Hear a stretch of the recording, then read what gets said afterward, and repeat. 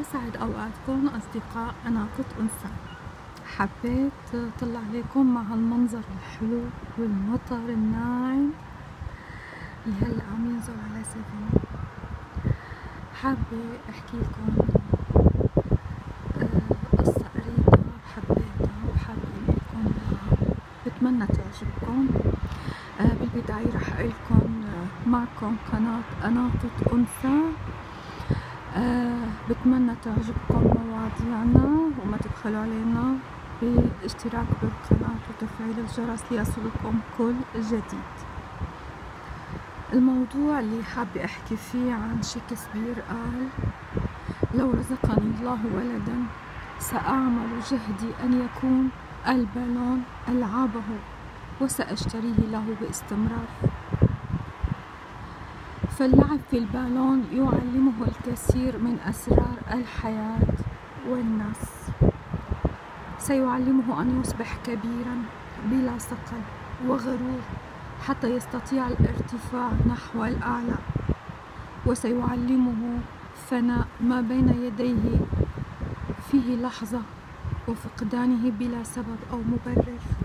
لذلك عليه أن لا يتشبث بالأمور الفانية ولا يهتم بها أكثر من اللزوم.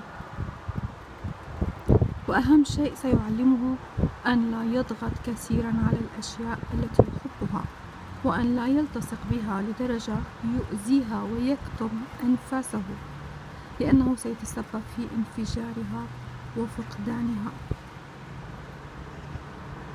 إلى الأبد. فالحب يكمن في إعطاء الحرية لمن نحبهم وسيفهم من خلال لعبة البالون أن المجاملة والمديح الكاذب وتعظيم الأشخاص للمصلحة يشبه النفخ الزائد في البالون.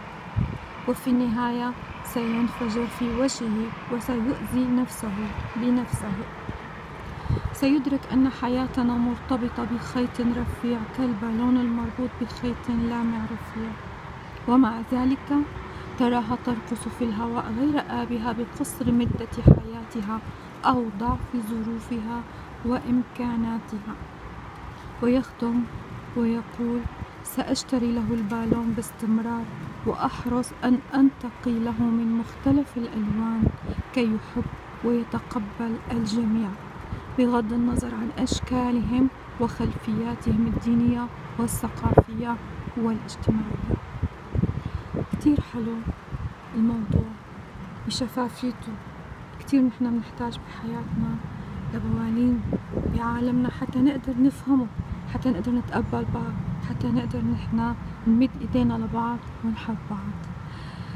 تحياتي من قناتكم المنوعة أناقة أنثى. أتمنى أن يكون الموضوع قد أعجبكم.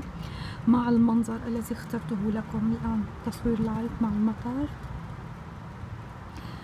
راح أرجع أذكركم ناطرتكم بالتعليقات حتى آه، نتبادل الآراء ونكبر مع بعض ونرتقي بالفكر. آه، قناتكم اناقة أنثى. أهلا وسهلا فيكم. بأي وقت بتحبوا نلتقي على المحبة دوما.